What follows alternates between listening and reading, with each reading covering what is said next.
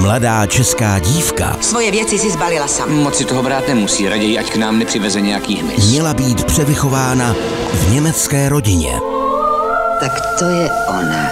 Guten Abend, gnädige Frau. s novou skutečností Ty musíš být silná.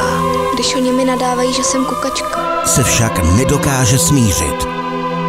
Kukačka v temném lese v neděli ve 13.45 na Joy Family.